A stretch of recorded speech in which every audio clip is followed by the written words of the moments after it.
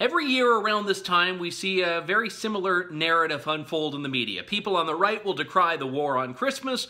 People on the left will say the war on Christmas is just a work of conservative fiction, a boogeyman meant to rile people up and generate outrage for no particular reason. And to be honest, I think the truth is somewhere in the middle. I don't think there's a war on Christmas per se, but there is a war on common sense. And I think a lot of time that actually rears itself specifically around Christmas.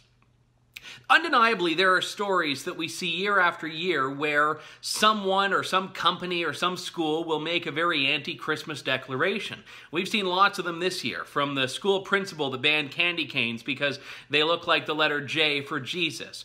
And we see all the time radio stations that are saying, ah, well, we won't play anything that has a Christian theme, or this year, baby, it's cold outside. Well, look, Justin Trudeau, the Prime Minister, gave Christmas declarations his last few years in office, and a couple of them didn't even mention Christianity or Jesus, which is kind of the reason for the season, as they say. There are lots of these examples, but do they indicate a full-throated war on Christmas? And if so, who is it that's actually behind it?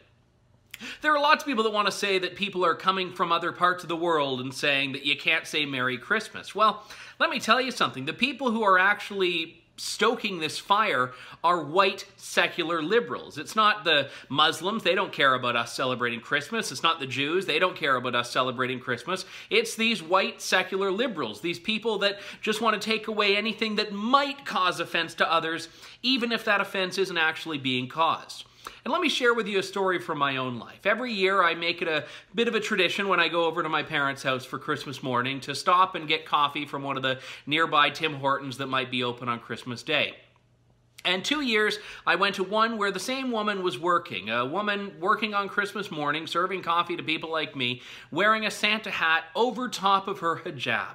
A Muslim woman who very beamingly says Merry Christmas to everyone who goes through.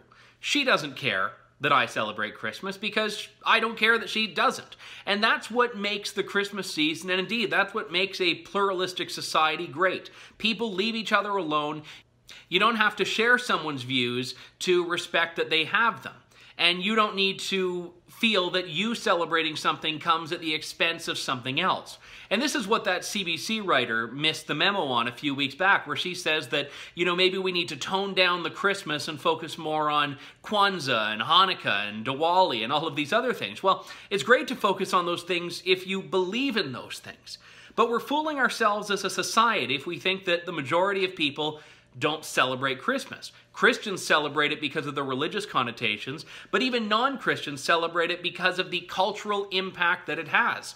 And Christmas is very unique. It's the only holiday of its kind that is actually celebrated by people who oftentimes believe in a religion or belief system that is different than the one that actually spawned Christmas. And that itself makes it magical. So if you do feel there is a war on Christmas, let's fight it the one way we can by ignoring the war. No one's telling you not to say Merry Christmas. Maybe they're telling some retail clerks, but if someone says Merry Christmas to you, say Merry Christmas back. If you think the world needs more merriment in this time of year, you make sure that you tell everyone who will listen, Merry Christmas. That's how we fight the war on Christmas, by rolling our eyes at anyone, even if they are in a minority, that thinks that we shouldn't celebrate this tremendous time of year. For the True North Initiative, I'm Andrew Lawton. Merry Christmas and God bless you.